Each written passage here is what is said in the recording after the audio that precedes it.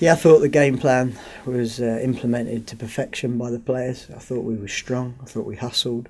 I thought we turned them at the right times, got the ball uh, into our forward players early. That was the key uh, to make sure whether it's Tomlin or Tammy Abraham, we fed it fed it into them as quickly as possible. Once we did, we was away. I thought two full-backs were outstanding. I thought our two wingers done exactly what they needed to do to nullify the threat, and we went on them the other way. And uh, like I say, it was a performance that on another day could have warranted a couple more goals. We had to do something to get out of the run we've been on, and uh, we've gone back to basics. Probably not played the best football at the times. Um, but yeah, like you said, we've built some momentum. We've got the uh, got a couple of clean sheets on the way, um, and two wins out of the last three is a, a positive going into international break now. I think, I think, I think. To be fair, the only difference was uh, we took our chances, more clinical.